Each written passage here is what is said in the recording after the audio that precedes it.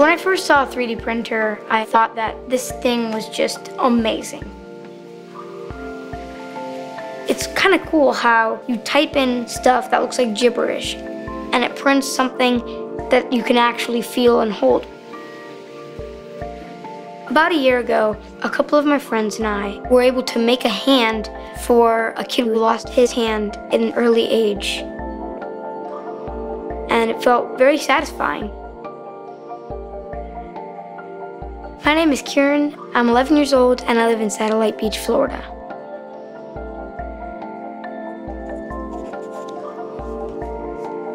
I started Kumon when I was four years old. I really enjoyed it. I've read Shakespearean plays and done calculus. When I was little, Kumon taught me work ethics. If you work hard for something, you're gonna get better things. I'm only 11 years old, and I finished the whole Kumon program in both subjects.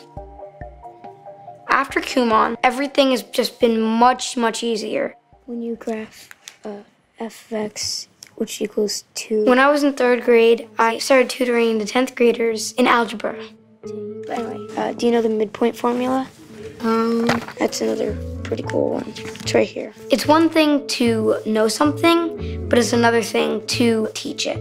2x When you're teaching something, you're gonna have to have a deeper understanding of the topic. equals x It's really cool because you see somebody who's struggling, but after you help them, you see them like really happy and it just makes you feel nice inside.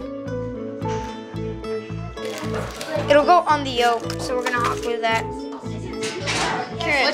Completing Kumon math and reading gave me the confidence to tackle any subject in school. When I got to the end of Kumon, I saw that there was a bonus level, X, and I just did that so I could keep going. I think you can always learn something more. You can always become smarter than you were the day before.